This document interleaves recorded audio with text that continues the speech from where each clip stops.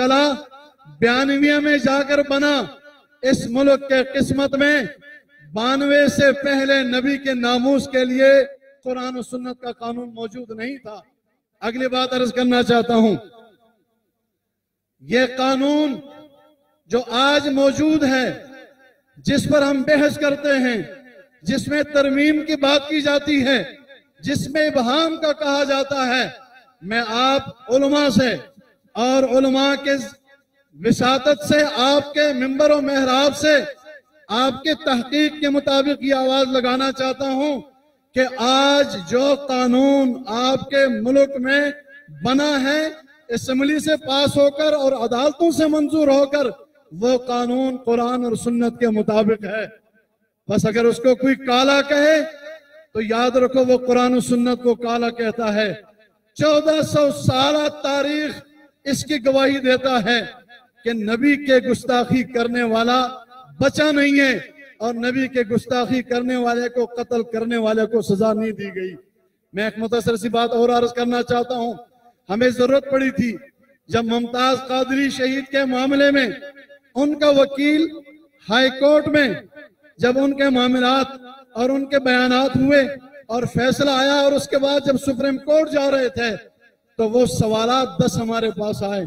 یہ تین سال پہلے کی باتیں ہم نے تحقیق کر کے معلوم کیا کہ ناموس رسالت کا عنوان اہل علم کے لیے دس آیات، دس احادیث، اجماع امت کے دس عبارات، پھر فقہ حنفی کے ذریعے جو ہمیں کہا جاتا ہے کہ یہ قانون، اور خاص طور پر تان دینے والے کچھ مذہبی لوگوں کو ساتھ ملا کر کہ یہ موجودہ قانون، یہ حنفی نہیں ہے۔ یہ امام ابن تیمیہ سے متاثر ہو کر فقائے احناف نے لکھا ہے، میں ابن تیمیہ سے ڈیڑھ سو سال پہلے کی کتاب خلاصت الفتاوہ کے عنوان و فی المحیط کہہ کر اس نے لکھا ہے کہ جس نے نبی کی گستاخی کی سراحتاً کنایتاً، اشارتاً، تنقیس، مسلمان ہو، کافر ہو، مرد ہو، عورت ہو نسیانن کرے خطأن کرے کہا ہے کہ متقدمین کے ہاں اجماعاً اور متاخرین کے ہاں قطعاً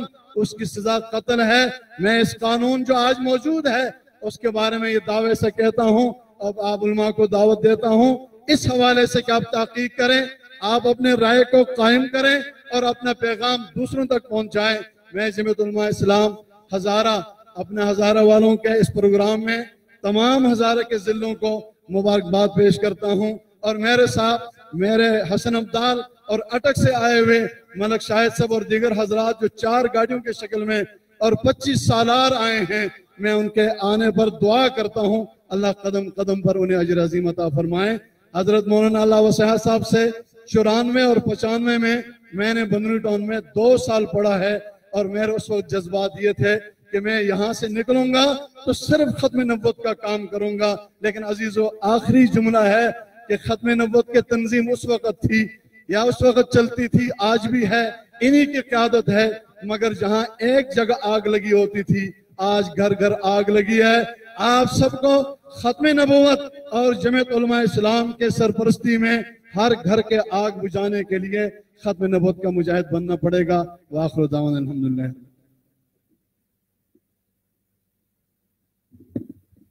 یہ تھے جمعیت علماء اسلام۔ ضلع اٹک کے امیر برادر مکرم جناب مولانا تاج الدین صاحب، اب میں بلا تاخیر اپنی مرکزی قیادت سے مخاطب ہوں اور آپ حضرات بھی انہی حضرات کو سننے کے لیے دور دراز سے تشریف لائے ہیں اور انہی کا پیغام لے کر ہم نے گھروں گھروں تک اور گلیوں اور کوچوں تک پھیلنا ہے اور اس وقت نام نہاد جیلی حکومت کے خلاف علم جہاد بلند کرنا ہے، جو کہ ختم نبوت اور ناموس رسالت کے قانون پہ ڈاکہ ڈالنا چاہ رہے ہیں۔ میں دعوت خطاب دے رہا ہوں۔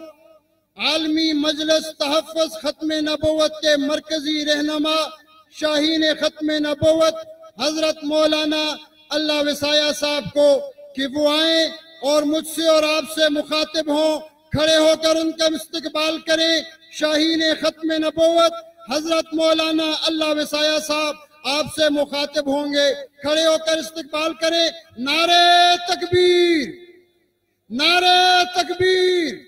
عالمی مجلس تحفظ ختم نبوت، ناموس رسالت ناموس رسالت پر، ناموس رسالت پر جان بھی قربان ہے۔ ناموس رسالت پر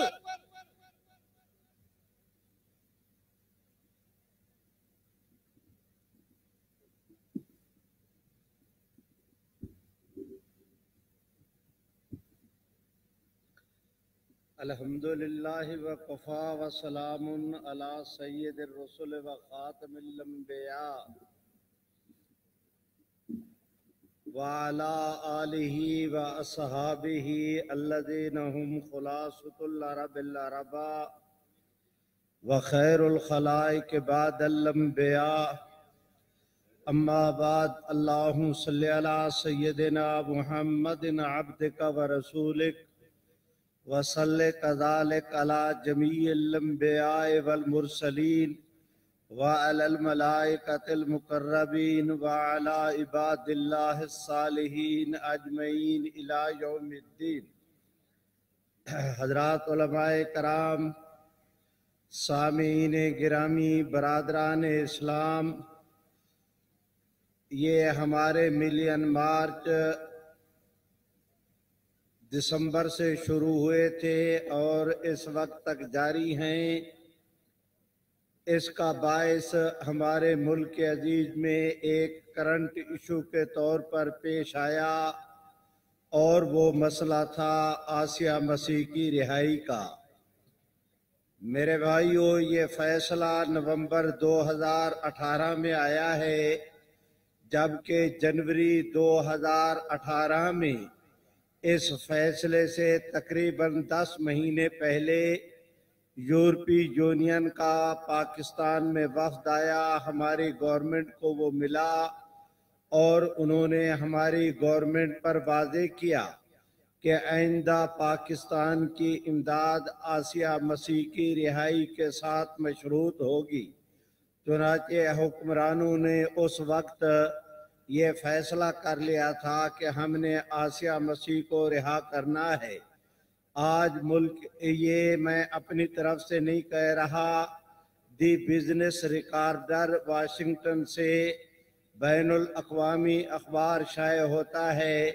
بائیس جنوری دو ہزار اٹھارہ میں یہ خبر موجود ہے۔ اس خبر کے دس مہینے بعد جا کر فیصلہ ہوا۔ اور آج پیٹ بھر کر جھوٹ بولا جا رہا ہے۔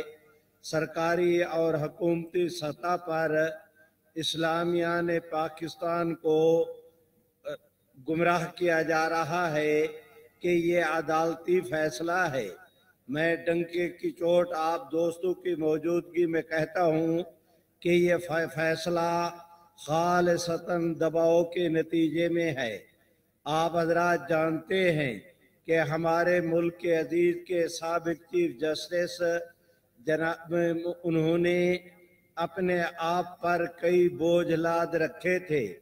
ہسپتالوں کی بستروں کو چیک، ان کی چادروں کو چیک کرنا، استعمال شدہ سرنجو سرنجو کو دیکھنا، ٹیلی فون کے، موبائل کے، ٹیکس، ڈیم کے چندے پتہ نہیں اس بندہ خدا نے کیا کیا کام اپنے ذمے لے رکھے تھے۔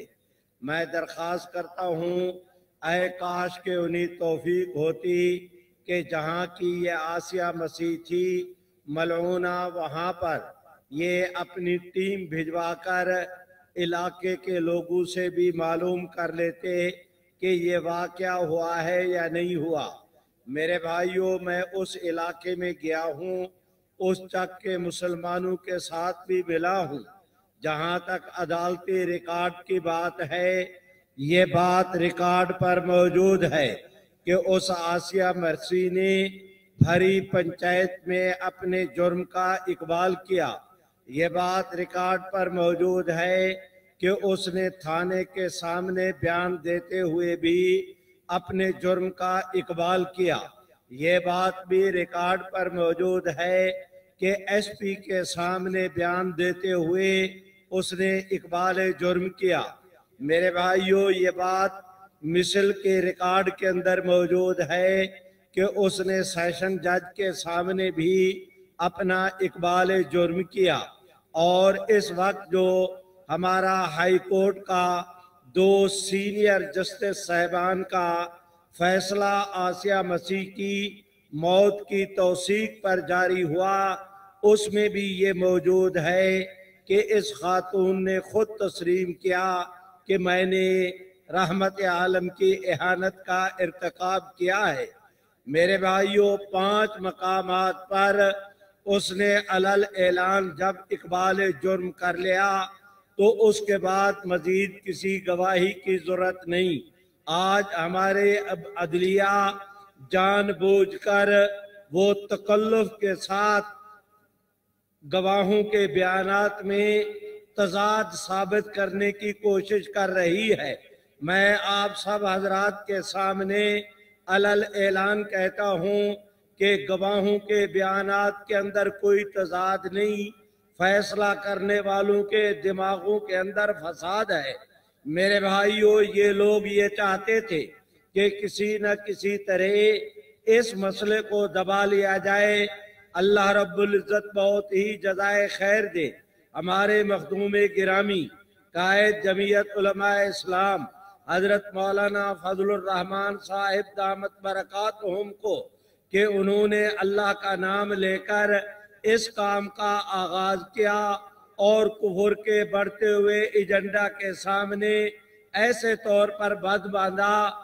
کہ مولانا کی جد و جہد کے بعد اللہ تعالیٰ کے فضل و کرم سے وہ اپنے وہ اپنے ایجنڈے میں ایک انچ کی بھی پیش رفت نہیں کر سکے۔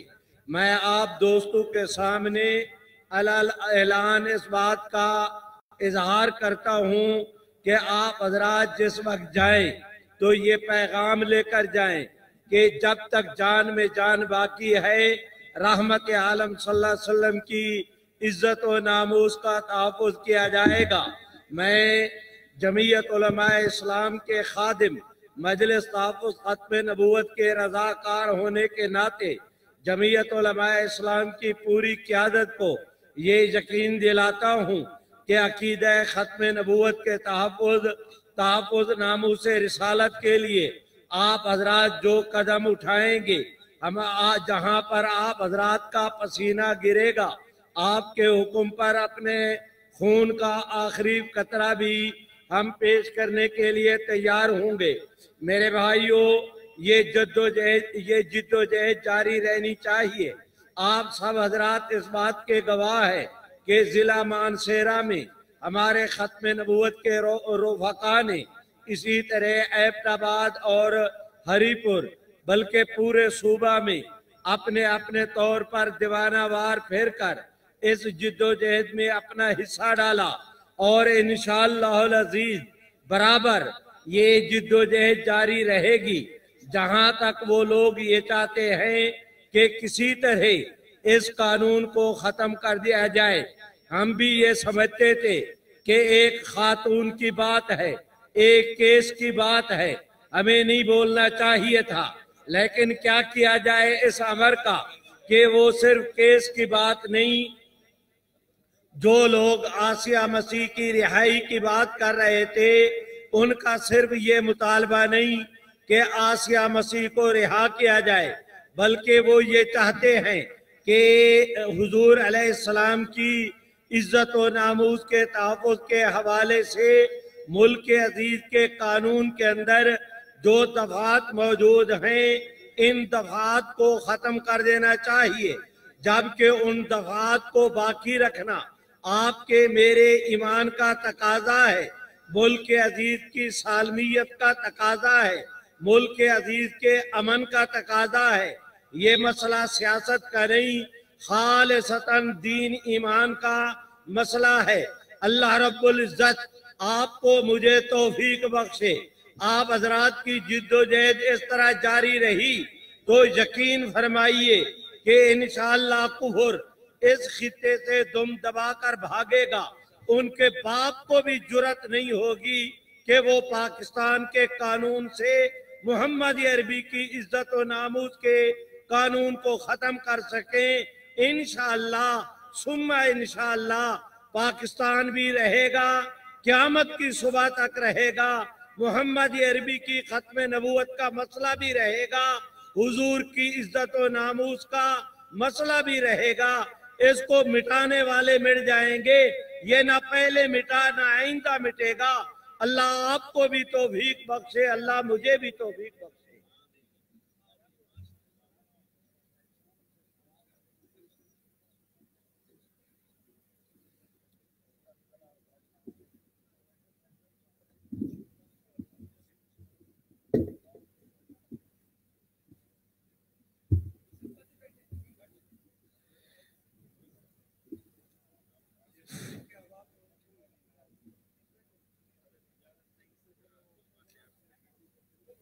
ابھی آپ سے مخاطب تھے۔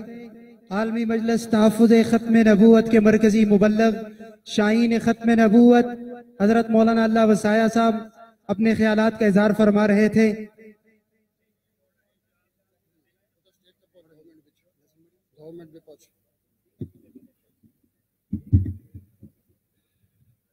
جناب، آپ سے مخاطب تھے شاہین ختم نبوت ہم سب کے سرپرست بزرگ حضرت مولانا اللہ وسایہ صاحب، جو پیغام مجھے اور آپ کو دے کر گئے ہیں، مجھے پوری امید ہے کہ اسی پیغام کو لے کر انشاءاللہ ہم نے آگے جانا ہے۔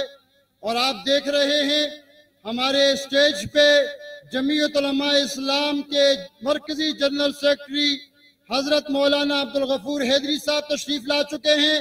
میں پنڈال میں پہنچنے پر انہیں مبارکباد پیش کرتا ہوں اور ان کے ساتھ جمعیت علماء اسلام، سندھ کے جنرل سیکرٹری اور مرکزی ناظم انتخاب، برادرم جناب مولانا راشد محمود سومرو صاحب، میں انہیں خوش آمدید کہتا ہوں اور آپ سب حضرات کی طرف اس طرف توجہ دلانا چاہتا ہوں کہ یہی حضرات ہیں، ہمارے اکابر ہیں کہ جنہوں نے مشکل موقع پر حکومت کو ٹف ٹائم دینے کے لیے پورے ملک کے اندر ملین مارچ کا سلسلہ شروع کیا اور آپ دیکھ رہے ہیں، آج یہ ملک کے اندر بارہواں ملین مارچ ہے اور ابھی مولانا صاحب نے اسلام آباد کی طرف مارچ کا اعلان ہی کیا ہے کہ ہمارے حکمرانوں کے پاؤں ڈگمگانے شروع ہو چکے ہیں اور ان کی نیندیں اڑ چکی ہیں۔ یہی ہماری قیادت ہے۔ جو آپ کے سامنے موجود ہے، آج جبکہ اس موقع پر ساری سیاسی قیادت اور ساری جماعتیں روپوش ہو چکی ہیں۔ ایک ہی جماعت ہے جمعیت علماء اسلام اور ایک ہی قیادت ہے قائد جمعیت مولانا فضل الرحمان جو آپ کے سامنے عوام کے اندر ہے روڈوں کے اوپر ہے اور اس جیلی حکومت کے خلاف آپ سب احتجاج میں ان کے ساتھ کھڑے ہیں۔ میں اپنی قیادت کو یہ اعتماد دلانا چاہتا ہوں کہ آج جمعیت علماء اسلام کی کال پر ہزارہ ڈویژن مانسرہ کے اس مقام پر اس ملین مارچ کا انعقاد کر کے ہم یہ پیغام دینا چاہتے ہیں کہ ہم اپنی قیادت کے ساتھ ہیں اور ان کے ہر فیصلے پر جو بھی ہمیں حکم ہوگا اس کے لیے انشاءاللہ تن من دن کی قربانی انشاءاللہ دینے سے دریغ نہیں کریں گے۔ انشاءاللہ ساتھ دیں گے۔ سب ہاتھ اٹھا کر اپنی قیادت کو کہ ہاتھ اٹھا کر بتائیں کہ ختم نبوت، ناموس رسالت، اس حوالے سے جو بھی ہمیں قیادت حکم دے گی، اسلام آباد کی طرف مارچ کا جب بھی اعلان کرے گی تو انشاءاللہ ہم سروں پہ کفن باندھ کر اپنی قیادت کے ساتھ ان کے شانہ بشانہ اور ان سے دو قدم آگے بڑھ کر انشاءاللہ نکلیں گے۔ اب میں دعوت دیتا ہوں نظم کے لیے جمعیت علماء اسلام کے ترانہ پڑھنے والے اور خواہ جناب حافظ منیر احمد صاحب کو کہ وہ آئیں اور نظم پیش کریں۔ جناب حافظ منیر احمد صاحب کراچی سے تشریف لائے ہیں۔ وہ آ کر آپ کے دلوں کو نئے جذبات آ کریں۔ جناب منیر احمد، حافظ منیر احمد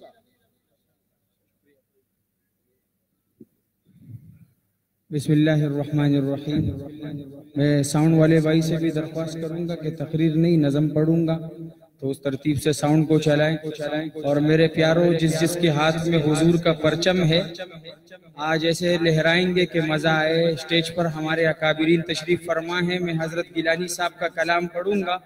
اور اپنی زبانوں کو بھی خاموش نہیں کرنا، جس کے ہاتھ میں پرچم نہیں، ہاتھوں کو پرچم بنا کے فضا میں لہرانا ہے کہ ختم نبوت زندہ باد، ختم نبوت زندہ باد، ختم نبوت زندہ باد، ختم نبوت زندہ باد۔ جو ہوں فرعون میں ان کو خدا کہہ دوں، یہ مشکل ہے۔ جو ہوں دجال ان کو انبیاء کہہ دوں، یہ مشکل ہے۔ ختم نبوت، زندہ باد۔ ختم نبوت، زندہ باد۔ ختم نبوت، زندہ باد۔ ختم نبوت، زندہ باد۔ مجھے زنجیر پہنا دو، مجھے سولی پہ لٹکا دو۔ مجھے زنجیر پہنا دو، مجھے سولی پہ لٹکا دو۔ مگر میرا سنوں کو رہنما کہہ دوں یہ مشکل ہے، مگر میرا سنوں کو رہنما کہہ دوں یہ مشکل ہے، ختم نبوت، زندہ باد۔ ختم نبوت، زندہ باد۔ ختم نبوت، زندہ باد۔ ختم نبوت، زندہ باد۔ ایسے تیزی سے اس پرچم کو لہرائیں کہ مزہ آ جائے۔ ختم نبوت، زندہ باد۔ ختم نبوت، زندہ باد۔ خبا پوشی کے پردے میں جو عیاشی کے رسیا ہوں۔ خبا پوشی کے پردے میں جو عیاشی کے رسیا ہوں۔ میں ایسوں کو شیوخ و صوفیہ کہہ دوں۔ یہ مشکل ہے میں ایسوں کو شیوخ و صوفیہ کہہ دوں، یہ مشکل ہے۔ ختم نبوت، زندہ باد۔ ختم نبوت، زندہ باد۔ ختم نبوت، زندہ باد۔ ختم نبوت، زندہ باد۔ جو طوفان کی خبر سن کر لرز اٹھتے ہو ساحل پر، جو طوفان کی خبر سن کر لرز اٹھتے ہو ساحل پر۔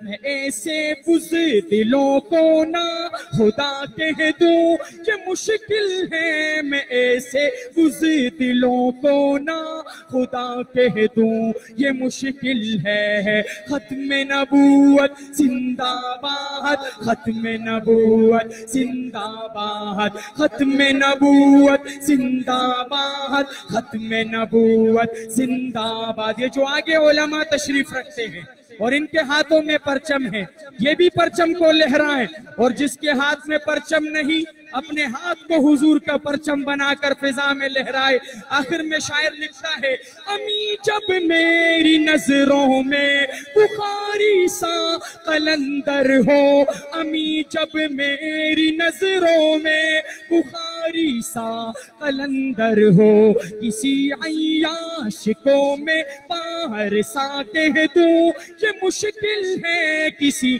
عیاش کو میں پار سا کہہ دوں۔ یہ مشکل ہے ختم نبوت، زندہ باد۔ ختم نبوت، زندہ باد۔ ختم نبوت، زندہ باد۔ ختم نبوت، زندہ باد۔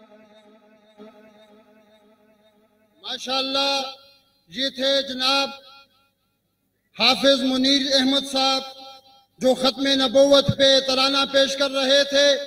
میرے اور آپ کے ایمانی جذبات کو حرارت بخش رہے تھے۔